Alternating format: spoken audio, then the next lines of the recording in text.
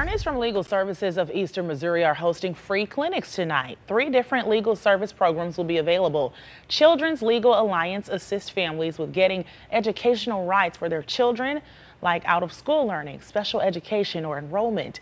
Legal advocacy for adults with mental illness helps people with housing issues, uh, marital issues, guardianship, and criminal record expungement. Youth and family advocacy provides help to families who are homeless, dealing with credit issues, or applying for public benefits. This clinic is today from 9 until noon at the Central Library. If you can't make it today, there's one every third Thursday of the month.